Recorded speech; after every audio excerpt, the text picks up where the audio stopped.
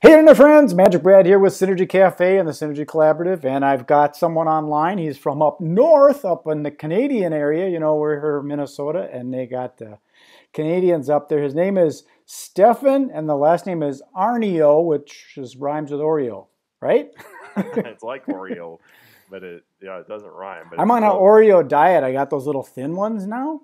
That's called the diabetes diet. No, they're they're, they're thinner, so I don't well, have to. Thin ones, so it'll keep you thin. Exactly. so, from what I understand, uh, reading some of your information, you're in the real estate world. But first, what I like to do is find out find out who you are and what you're all about and things. But so, your name is Stefan Aarnio, and um, you live in Canada. Uh, how long you lived where you're at? Are you kind of stable? Well, I'm, I'm born and raised in Winnipeg, Manitoba, Brad, and you know, for those of us who don't know where that is, uh, that's the middle of Canada. It's the middle of the middle. It's the middle of North America. And okay. I always tell people, I'm Mayor, if you go to Dallas and drive north, you go straight north. Dallas and Winnipeg are on the same street. So uh, just a little. That's interesting because uh, we're in Minneapolis and 35W and 35E run right through, so it splits off and. Mm-hmm. Yeah, I've driven yeah. down to Minneapolis a couple times, and I'm in that airport all the time. MSP, Minneapolis, yeah. St. Paul. I'm in there. I was I'm in there every every time I go to the states. It's well, if Chicago, you got a MSP, you got a long layover, ring me up. I'll come visit.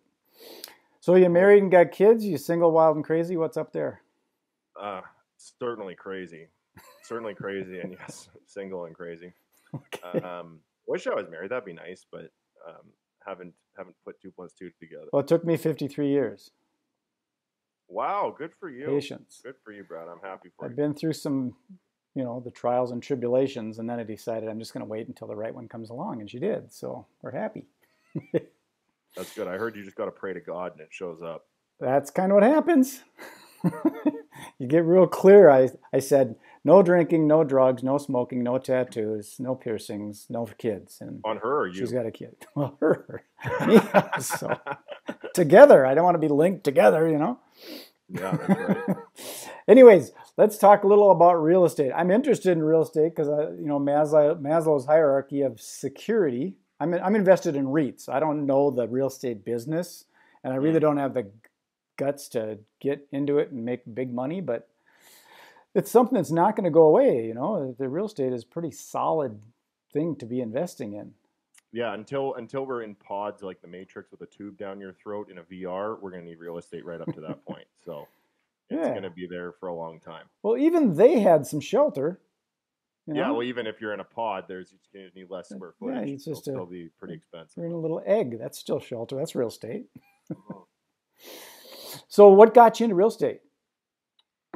So, I started out with twelve hundred dollars, Brad. Uh, when I was 22 years old, I went to school and uh, got a job. When I was 16 years old, I told my mom and dad I wanted to be a rock star. And my mom said, That's a horrible idea. My dad said, That's a horrible idea. My mom said, But I support you anyways, honey. So I went to music school, dropped out of music school in the University of Manitoba, dropped out of computer science, dropped out of business school. And I finished with a degree major in English, uh, minor in music. And I went out to the world. It was 2008, and there wasn't any jobs for guys in English majors. So I got a job in a call center for $10 an hour answering the phone, selling hotel rooms. And I was making the same money selling hotel rooms as I was making, you know, five years before painting houses to go to school. And I realized, you know, something's wrong here. Going to school, get a job doesn't work anymore. So I read a little book called Rich Dad Poor Dad. Right. And I started uh, investing in, I, I went and bought a little house. I started going to seminars. And, you know, six and a half years later, became a self-made millionaire. I wrote about that in my book here, Self-Made: Confessions of a 20-something Self-Made Millionaire. Cool. I don't have a beard on the book now. I have a beard, but uh, yeah, I, I, became a self-made millionaire six and a half years later, and actually won Rich Dad International Hall of Fame in 2014. So you know, it came full circle. I started with Rich Dad, and then you know, some years later, in 2014, I was recognized as an International Hall of Fame winner. And they only give out one award like that in Canada per year, and I think there's five a year in the states, one in Canada. So it's like winning a gold medal wow. almost. Yeah, my career was similar. I started doing magic when I was a little kid, and I told my mom when I grow up I want to be a magician, and she said you can't do both. so you can't grow up and be a magician. exactly. But I I did magic through high school, and then I did take on a job, and I got laid off, and I thought, where's my gold watch? So I decided to be self-employed uh, after that too. So similar Mhm. kind of path. I wish I, I kind of wish back then I would have got into real estate because it's uh, it's more Well, secure. real estate's real estate's great. They say buy real estate and wait. Uh, don't wait to buy real estate, right? If Yeah. you wait to buy real estate, that's no good. Buy it and wait. And Well- you know, even the building I'm sitting in here right now, I bought this house for three hundred fifty thousand dollars, no money down in 2013. Today it's worth about four fifty, and the mortgage is probably paid down to you know low twos. So right there, there's almost two hundred grand of equity. Uh, just created in six years of doing nothing, right? It's like it's passive income. Yeah. So when you can when you can buy buy as much as you can as early as you can, hold on to it as long as you can, and get as cheaply financed as you can. You know that's that's the rule there. And and you know there's there's a couple schools of thought. One is never sell, which I use in my portfolio, and then I also have been a championship flipper. I mean I've flipped hundreds of homes. So flipping is something you do for income, and then there's also buy and hold forever. And I've got some buildings I drive around town. I go, damn, I wish I never sold that because they there's some that you just want to keep forever. It's kind of like it's it's kind of like like dating. Like there's some some girls you want to hold forever, and there's some you just flip it and get out. so the so the hold for everything that's if you've got tenants or something in it that's paying the rent, right? Right. Yeah. Yeah. So so you know, buy and hold. Like the neighborhood I'm in here in Winnipeg, the one I'm sitting in right now. This is a buy and hold forever neighborhood. So my goal in this one neighborhood is I want 50 doors in this one neighborhood in the next couple years. And so you know that's that's an attainable, simple goal. And you know I haven't. Uh, I bought my first, my second deal when I was when I was 22, 23. I got out of the rat race where I had enough rent to not work anymore. So I haven't had a job in the last almost 10 years. And Mhm. that's because I have rental real estate. Right.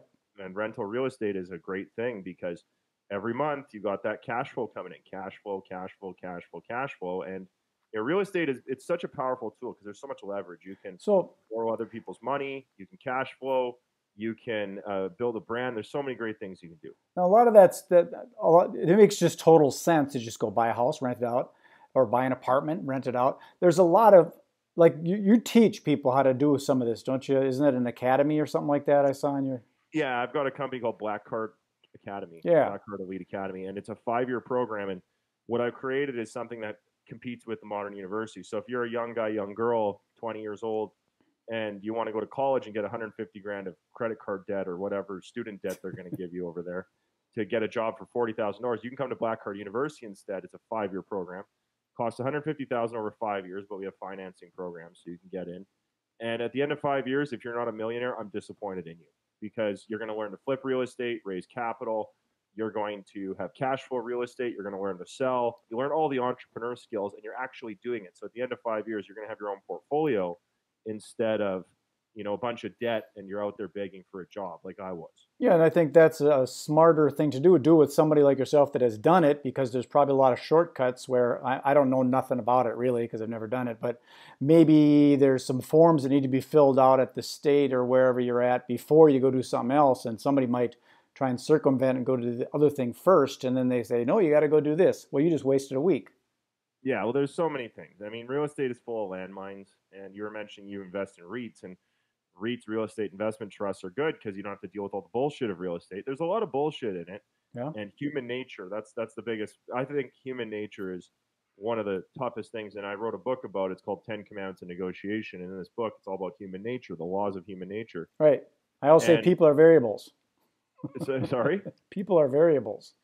they they're variables and they're variables upon variables. I mean, inside of the person is a variable. Like it's human nature is somewhat unpredictable, but it's somewhat predictable. So if you Yeah. understand human nature, uh, you could do well in real estate. And I say this: real estate's the human nature business. So you know, if you understand human nature, you can get very rich. And if you're somebody who's idealistic about your life or how things can go, you can get very poor in real estate. So you want to be a realist when you get into real estate when you're dealing with human nature. Sure. And there's, I guess, there's a lot of that uh, people buy through emotion and and justify with logic kind of thing. Mm-hmm. Mm-hmm. Well, I don't like to do these too long because people have those commodities of time and get a lot of get a lot of things done, you know. And so uh, I try and keep these tight so they can just learn who you are, what you do, and then they can get a hold of you. So if you can share how they get a hold of you. And then what I do is I put that uh, web domains and all that contact information on these blogs I propagate out and I put it out to the world. And then we synergistically share it out through the collaborative of people. So could you share how do we get a hold of you in case we want to learn about real estate? Yeah, so stefanaarnio.com, S T E F A N A A R, it's two A's, double A R N I O, S T E F A N, double A R N I O. And uh, right now, my new book, Hard Times Create Strong Men, is one I'd like you to pick up. It's hardtimestrongmen.com. Once again, hardtimestrongmen.com. And yeah, if you want to get a hold of me, that's my handle on social media, stefanaarnio.com. Or as my mom says, Stefan F. and Aarnio. So that's, that's how you can remember it. okay. Well, this has been fun. And uh, maybe down the road we could pick up some other uh, opportunities. If there's some niches or something we want to run down and see we're on the same time zone and you're just up 35W, maybe we can reconnect down the road. Awesome. Thanks a lot, so, Magic Stefan, if you want to stay on, we can have a little chat other than that. I'm going to sign this one off and beam it up to the universe, as they say. Okay? Peace.